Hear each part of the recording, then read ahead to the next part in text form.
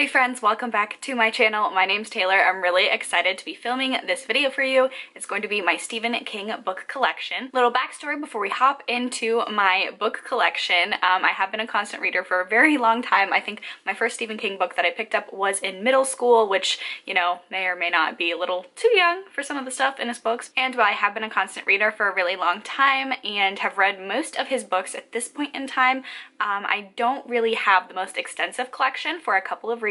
Number one, I was in college for a while, didn't have space for my own bookshelf, so I've only really been able to build up my book collection for the past two years. And then secondly, other than like the books that came out from like 2018 on, I have been getting all of my books secondhand and vintage. I just think there's something really cool about the older covers. Nothing against like the repackages of the editions of these books, but I do tend to think that the original covers just look a whole lot neater, especially for some of the older works so this is my 2020 edition of my Stephen King book collection, hopefully next year. Um, there'll be a whole lot more books here, but yeah, let's just get into the video. Right now, my whole Stephen King book collection fits sort of nicely on two shelves. If I get um, more books, they're gonna have to go somewhere else, but for now I can kind of squish them all into two shelves. We'll go ahead, start with the first shelf, and I do, for the most part, put them in chronological order. For decoration's sake, I do have some Funko Pops. I did get this bookmark from A Stranger Dream. I will leave their shop down below. Um, they do really nice horror-themed bookmarks.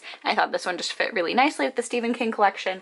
But my other Funko Pops that I have are some members of the Losers Club, like Richie. We have Georgie, Bev, Ben, and of course Pennywise himself. Then we have some Funko Pops, Gage, and Church from Pet Sematary. So now that the decorations are gone, starting on the first shelf, we have Carrie, Salem's Lot, The Shining, The Stand. Um, I have never been able to find a secondhand copy with the actual dust jacket on. I have two different copies of The Stand, and they both are in pretty poor condition, so hopefully I will be updating this with one that actually has a dust jacket on it, but for now, that's my copy of The Stand. The Dead Zone, one of my favorites. Cujo. It. Insomnia. I have this copy of Salem's Lot that doesn't have a dust jacket and it's also like a special book club copy and it's in absolutely excellent condition so I'm just keeping it around. I also just really like like the bright red. I actually use this as like Halloween decoration just because it's nice and crisp and has that iconic Salem's Lot font. Nightmares and Dreamscapes, Needful Things, Bag of Bones, Everything's Eventual, and Dreamcatcher, a book that I haven't actually read, but I think it's one of the most stunning covers. Now, moving on to our second shelf, I have some more just assorted Halloween decorations here. So um, I've got this little jackalope, I think it's called, from Target a couple years ago. This Raven's Claw Inn little sign I also got from Target, I think it's a dollar spot. A little vintage pumpkin that I really just found in a box of junk somewhere. So for the Funko Pops, I of course have the whole entire Torrance family. And Wendy was actually like my second Funko Pop that I ever bought, so she's a little special. Okay, now for the actual books on the second bookshelf. I do have um, The Institute sitting up here just because I'm running out of room on these shelves a little bit. Rose Madder, one of the first Stephen King books I ever read. Cell, Lisey's Story, another one that I haven't actually read but absolutely adore.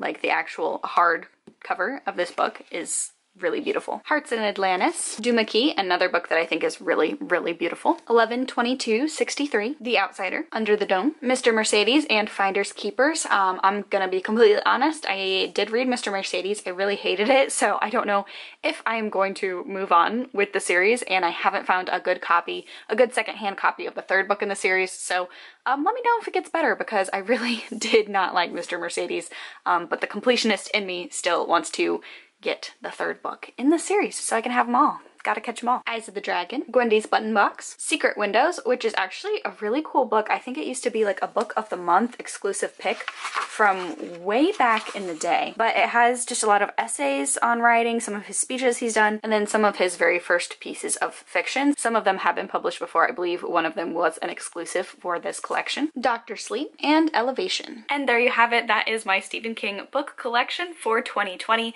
If you like this video, please give it a thumbs up. Leave a comment down below. Let me know your favorite Stephen King book. I always love hearing people's answers on this question because he has such an extensive backlog that I feel like everyone kind of has a different sort of style of his books or like a little collection of his books that they like the best. And if you're not subscribed already, please subscribe for more content. Hope you guys are staying safe, staying happy, staying well, and I will catch you guys in my next video. Bye!